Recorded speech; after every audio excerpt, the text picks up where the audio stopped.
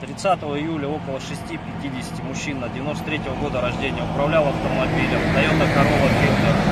Э, двигался по автодороге Р-255 Сибирь со стороны города Новосибирска в сторону в направлении города Болотного.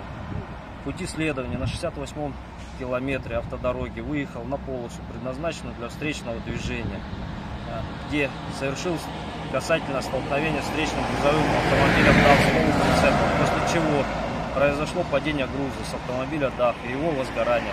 В результате происшествия пассажир Toyota, мужчина 96 года рождения, доставлен в больницу.